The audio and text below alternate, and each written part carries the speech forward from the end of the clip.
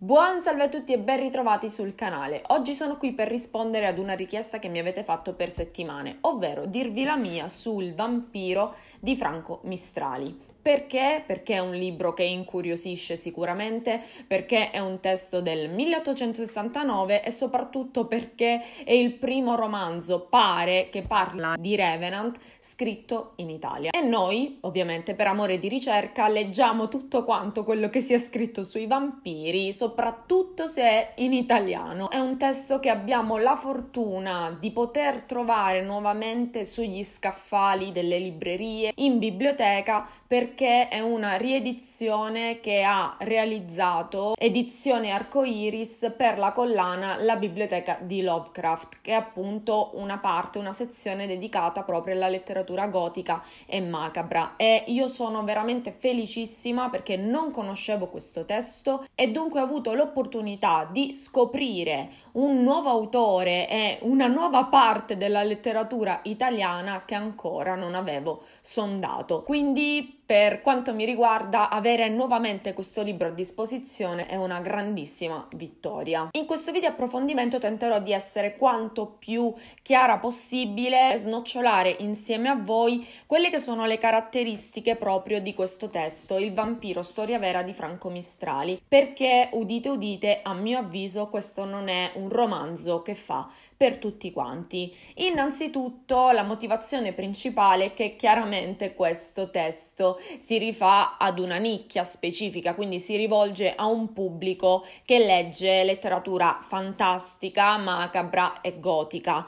Questo non vuol dire ovviamente che non sia rivolto a tutti quanti, anzi se siete punk e vi va di leggere ovviamente spaziare con i generi, potete farlo tranquillamente. Il punto è che questo è un testo molto molto particolare perché non si rivolge soltanto a chi legge letteratura gotica, qui ci troviamo davanti a un romanzo scritto nel 1869, vale a dire che la struttura frasale, il linguaggio utilizzato e anche la costruzione dell'intreccio hanno un senso molto diverso rispetto a quello che è il romanzo contemporaneo. Quindi, oltre a rivolgersi a coloro i quali leggono gotico, questo testo si rivolge soprattutto a chi ha già letto, secondo il mio modestissimo parere, qualche altro testo di narrativa gotica fantastica appartenente proprio all'Ottocento italiano. Esempio scapigliatura, esempio Tarchetti. Questo significa che non potete leggerlo o non potete capirlo? Assolutamente no, ovviamente, però cercherò di darvi degli spunti di riflessione per comprendere appunto se questo testo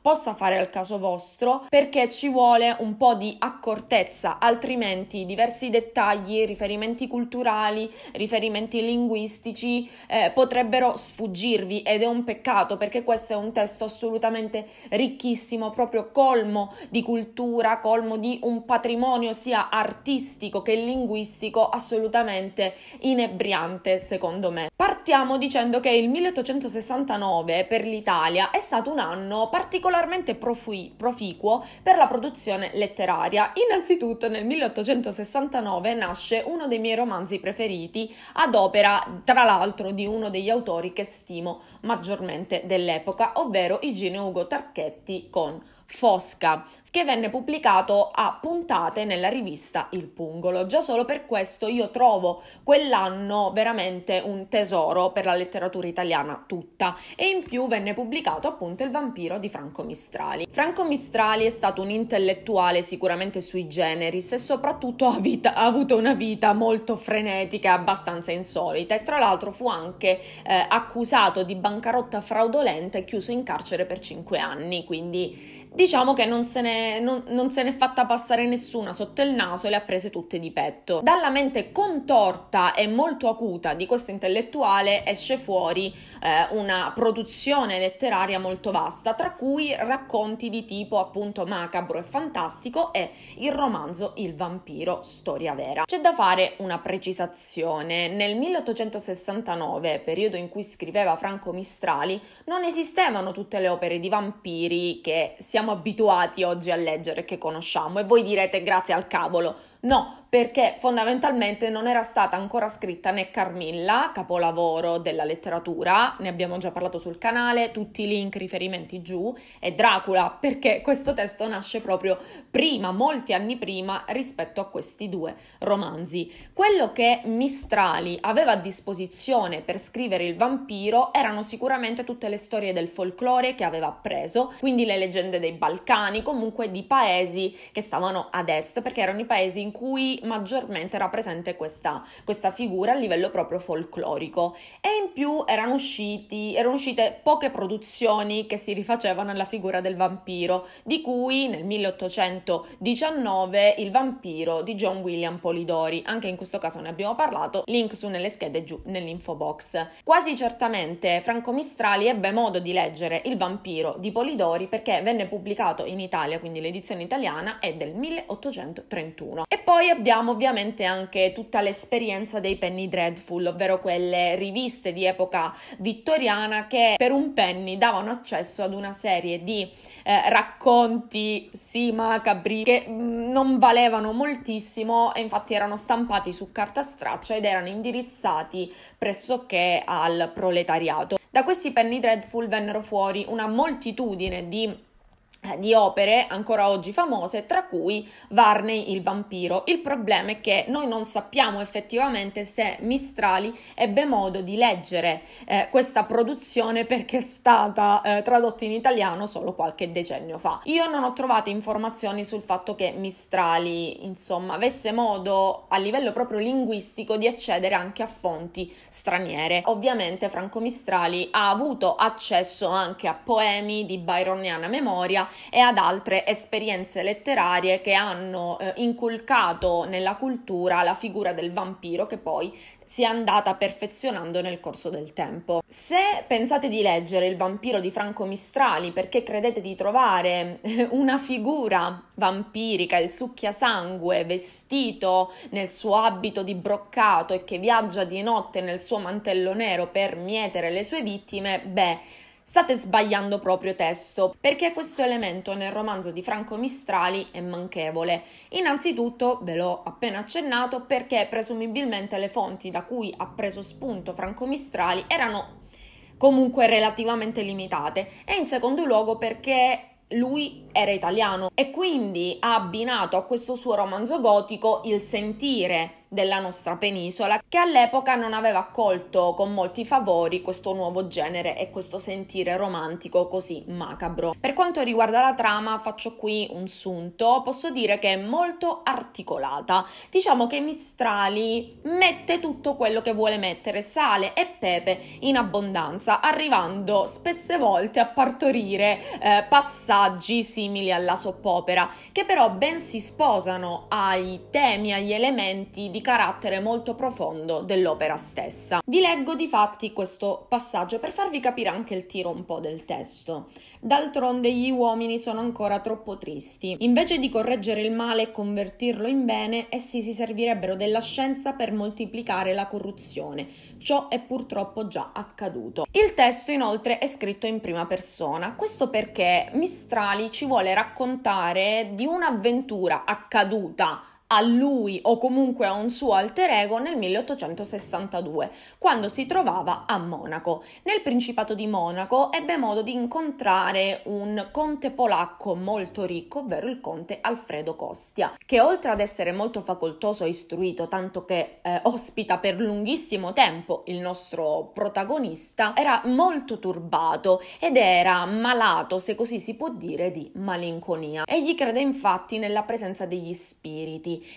e sente la presenza costante dei redivivi e per questa ragione spiega con la sua mente da intellettuale anche che, quella che è la sua idea riguardo il mondo tutto. Secondo il Conte Costi, infatti, il regno dei vivi e quello dei morti non sono su piani diversi, bensì vengono a fondersi in un unico, solo che eh, si riescono a percepire l'un con l'altro soltanto in momenti particolari dell'esistenza. E inoltre un accanito sostenitore della reincarnazione. Difatti, secondo lui, l'anima eh, col peso delle vite precedenti si reincarna continuamente all'interno di altri corpi. Da dove gli vengono queste certezze? Da quando il nostro protagonista si trova all'interno della villa, ha potuto notare un grande quadro che è presente nel soggiorno. È un ritratto di una donna bellissima, vestita di bianco, che sembra quasi un'Ofelia in punto di morte. E il conte Costia dirà che è il ritratto del suo amore perduto, ovvero Pia Ludviskoa, spero si pronunci così, che è venuta a mancare prematuramente. Un giorno i due si trovano a passeggiare e incontrano come per magia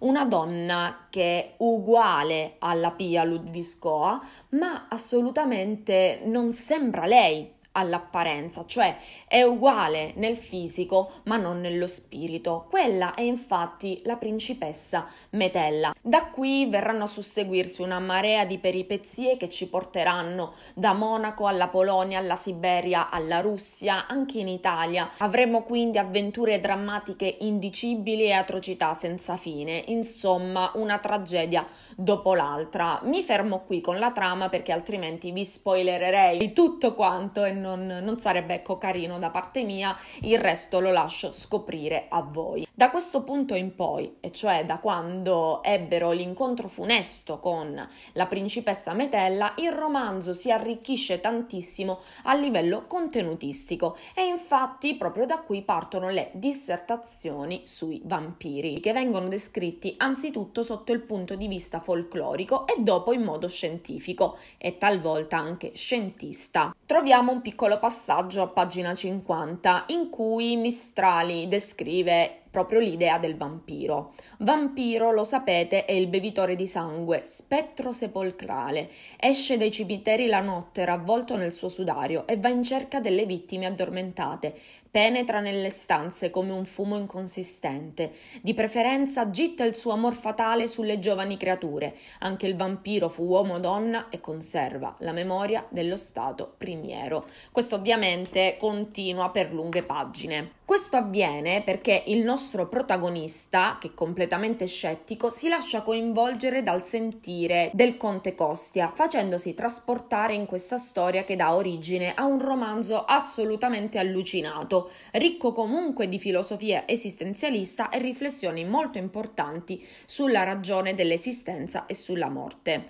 Sappiamo comunque per certo quali sono i riferimenti letterari di Franco Mistrali, semplicemente perché ce li scrive egli stesso nel testo, ovvero Hoffman, Poe, Foscolo, Victor Hugo e anche Byron. Byron viene lodato moltissimo da, da quest'autore. Nonostante il percorso di questo testo sia molto misterioso e anche l'intreccio no, si manifesta un po' come trascendente, il tutto però è coperto da, una, da un'aurea sempre un po' eh, prosaica che tenta di dare modo al lettore di comprendere che ciò che sta leggendo è una storia vera. Difatti il sottotesto del romanzo romanzo è storia vera. Mistrali sottolinea in questo modo il fatto che il testo è completamente immerso nella storia con la S maiuscola, tant'è che ci porta anche nella Russia zarista, sottolineando questioni politiche sollevate dal popolo che voleva distruggere l'impero degli zar,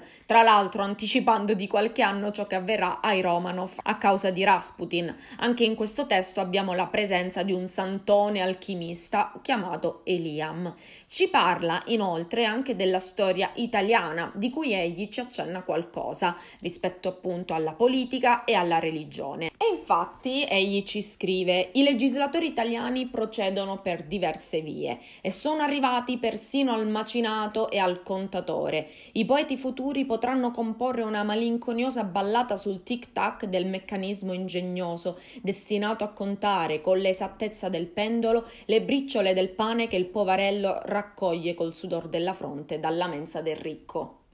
Quando vi dico che il fantastico italiano ha un tipo di rappresentazione molto diversa rispetto a quella eh, che abbiamo visto ovviamente fuori dall'Italia, quindi specialmente prevalentemente nei paesi anglosassoni, mi riferisco proprio a questo tipo di tema, a questo tipo di fusione della presunta presenza di elementi di natura fantastica e sovrannaturale, ma collegati assolutamente incollati proprio alla terra d'origine e soprattutto alle problematiche italiane. Una delle cose che non ho apprezzato del testo, che si rifà proprio a questo, questo discorso che vi ho appena fatto, è la virata verso la Russia, perché molte divagazioni sulla storia della Russia e sulla politica della Russia, per il mio modestissimo parere, sono veramente troppo pesanti e generano un po' una macchinosa lentezza all'interno della narrazione. Questo quindi per me è un punto di demerito, nonostante comunque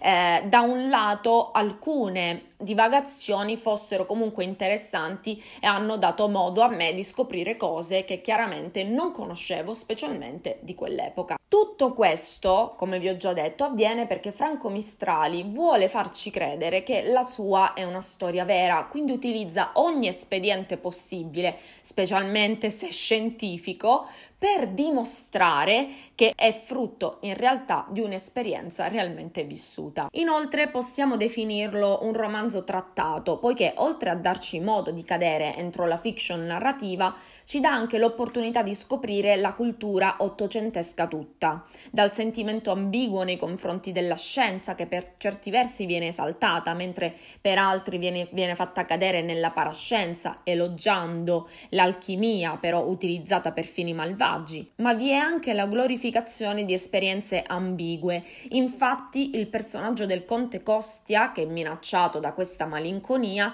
nutre un fascino assoluto per il turbamento e la follia tema che è particolarmente presente in questo volume. Mistrali, tra l'altro, in questo testo si spinge tantissimo, fino proprio al limite, a parlarci del sangue. Il sangue, infatti, è un elemento essenziale per i vampiri e, a mio avviso, nelle rappresentazioni precedenti non aveva mai avuto una valenza del genere. Viene infatti, all'interno di questo testo, esaltato proprio il culto del sangue. Dal sangue si genera la vita e il sangue tolto uccide la vita. In più viene evidenziato il parallelismo tra sangue e vino, vita e sacrificio, che è presente tantissimo nella cultura cristiana e nel sacrificio di Cristo per salvare e redimere il popolo. Lo stesso sangue che si mescola dà origine all'incesto, tema che viene trattato con particolare sagacia proprio da Mistrali in questo testo. Il romanzo inoltre è popolato da una serie molto ampia di figure misteriose come il santone Eliam, che è uno dei personaggi più complessi di tutta la narrazione e ci permette di vedere due lati, diciamo, della stessa persona. Comunque in questo testo vedrete il cambio di identità di una serie molto grande di personaggi, però ecco, la sua storia è particolare e soprattutto interessante. I, difatti la scopriamo man mano che il testo si amplia alla Siberia e alla Russia. Scopriamo proprio in questo frangente come sia diventato mago e alchimista. Abbiamo inoltre un altro elemento preponderante della letteratura sia italiana che europea, perché è stato un elemento venuto fuori, presumibilmente credo che comunque l'origine sia quella, dalla, eh, dalla teoria di Freud, ovvero quella del doppelganger, il tema del doppio. Infatti la Pia Ludviskoa che si sovrappone alla principessa Metella, dà origine a questo topos letterario che era assolutamente molto indagato in quel tempo e questo ci fa vedere come sia stato declinato anche da Mistrali. Vi ricordo che il tema del doppio è essenziale. Pensiamo ad esempio a uno dei romanzi più famosi, ovviamente Dr. Jekyll e Mr. Hyde. Grande spazio comunque viene lasciato anche al sentimento dell'amore, l'amore turbolento eh, che si impossessa del razionale e dell'inconscio. Quindi vediamo che Freud è stato comunque studiato su larga scala. Vediamo quindi che i temi sono tanti e spaziano nella cultura ottocentesca di più ampio respiro, romantica e bohemienne, condita però dalla visione italiana che regala una luce nuova a questo genere e soprattutto a un testo perché lo rende unico e raro proprio nella sua natura. Passiamo al punto che forse più vi interessa, ovvero l'esercizio della lingua in un testo del genere. Innanzitutto voglio chiarire una cosa. Il testo, questo qui, è stato ripreso dalla biblioteca di Lovecraft pari pari all'originale, ovvero l'edizione del 1869 quindi quando leggete, per esempio, 80 puntini sospensivi perché uno dei personaggi sta pensando prima di parlare, non è un errore della nuova edizione, ma è una scelta da parte della casa editrice che ha voluto, eh, diciamo, lasciare viva proprio l'integrità dell'opera, app- non apportando questo tipo di, di, modifiche che chiaramente sono necessarie per un testo eh, che viene pubblicato e scritto nei giorni nostri. Inoltre sono presenti parole, come per esempio anche in Tarchetti, che oggi noi non usiamo, parole desuete, ma anche e soprattutto termini che venivano scritti in altri modi. Uno dei più eh, eclatanti è il termine facce, che noi ovviamente scriviamo senza la i. In questo testo la troviamo con la i. È un errore? Al giorno d'oggi è un errore, all'epoca no, si scriveva in questo modo. Quindi leggete, a mio avviso, anche una testimonianza, un documento di quella che era la lingua intorno all'Ottocento. Tra l'altro, l'italiano utilizzato è molto più complesso rispetto a quello di Tarchetti. Io faccio riferimento a lui perché è uno dei più famosi dell'epoca, specialmente proprio in questo genere. Questo, come dicevo in precedenza, potrebbe essere comunque un ostacolo per chi non ha avuto approcci alla lingua italiana di quegli anni. Io personalmente l'ho amato in modo molto profondo, anche in quanto documento e testimonianza del nostro patrimonio linguistico, ma mi rendo conto che consigliarvi questo testo senza sottolineare comunque l'importanza della lingua e della costruzione frasale sarebbe un suicidio.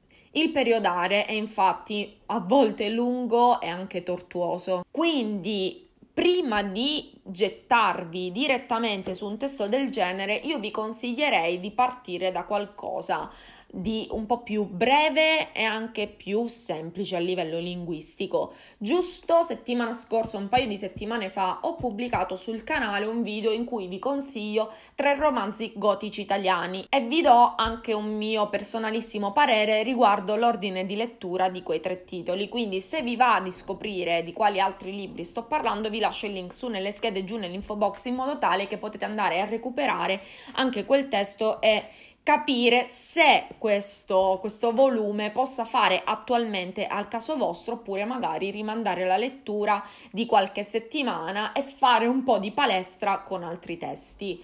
Per me questa è una recensione, un approfondimento molto positivo, già solo per il fatto che l'editore ha scelto di salvare un'opera che era destinata assolutamente all'oblio. Nonostante diciamo tutti i piccoli accorgimenti eh, che ho cercato di sciorinare in tutto il video, per me questo testo è assolutamente amore. Spero che la biblioteca di Lovecraft pubblichi anche i racconti di Franco Mistrali, racconti fantastici fantastici perché non vedo l'ora di leggere altro di quest'autore. E quindi questa qui era la mia recensione, il mio approfondimento sul vampiro storia vera di Franco Mistrali. Fatemi sapere se questo video è stato di vostro gradimento. Scrivetemi giù nei commenti altri testi magari sui vampiri che devo leggere assolutamente, qualcosa anche di italiano. Io vado direttamente alla ricerca di tutto quello che c'è scritto uh, qui dentro nell'introduzione e noi ci vediamo al prossimo video con